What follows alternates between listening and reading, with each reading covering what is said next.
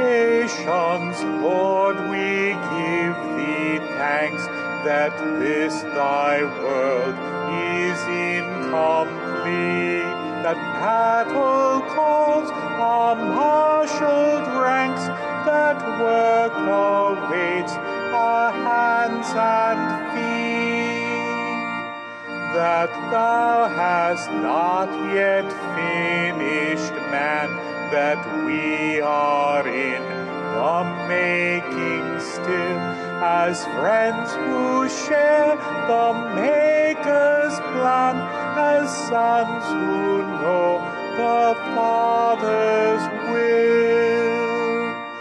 Beyond the present sin and shame, wrong's bitter, cruel, scorching light, see the beckoning vision flame, the blessed kingdom of the right.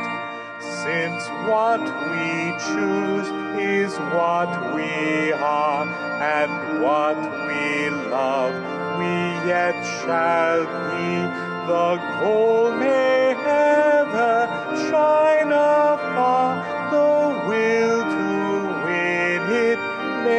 us free.